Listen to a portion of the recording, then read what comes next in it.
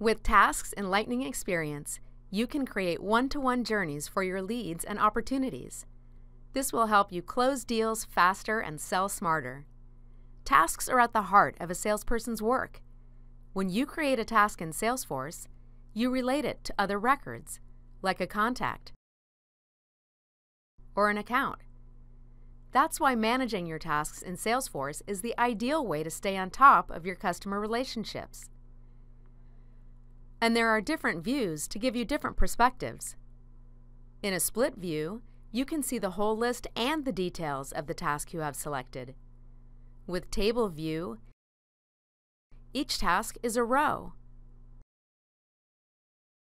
In Kanban View, each task is an item in a status column. Let's take a look at the ways that David manages his tasks in Salesforce, from his task list, in the activity timeline for a specific opportunity, lead, account, or contact, and on the Kanban view of opportunities. First, let's look at David's task list. David uses the list to see all his open tasks in one place. He can see the key details of each task in the list, and when he selects a task, he sees full details on the right. To focus on tasks due today, he changes the list view. He can pin a list view so that he lands on that every time he navigates to tasks. When he's done with a task, he checks it off his list.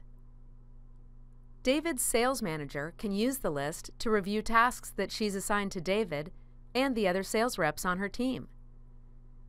To view all tasks assigned to people below her in the role hierarchy, the manager can use reports. David uses the activity timeline on a record to keep a finger on the pulse of each of his opportunities.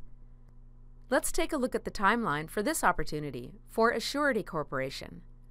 On the timeline, David sees the key details of each task right on the page with everything else, including calls, upcoming events, and emails he's sent.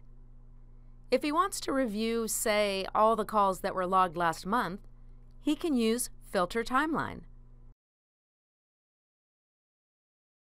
This shows him exactly what's on his plate and what he's accomplished for this opportunity. He can drill into any items to see more detail. David adds a task to the opportunity. He relates it to a contact already in Salesforce, Helene Kazik. This task will show up on her contact record as well as here on the opportunity. He clicks Expand All so he can see what the team is doing to win this opportunity. When he marks a task as done and refreshes the activity timeline, the task moves to past activity. David also uses the activity timeline to stay on top of his leads when he converts a lead and creates an opportunity, all the tasks and other activities carry over to the new opportunity. And remember, lead conversion is also available in the Salesforce app, so you can run your business from your phone. The timeline is useful for reference when he's looking at an account or a contact, too. Finally, Let's look at the Kanban view to see upcoming opportunities in the pipeline. Alerts tell him at a glance which opportunities have overdue tasks.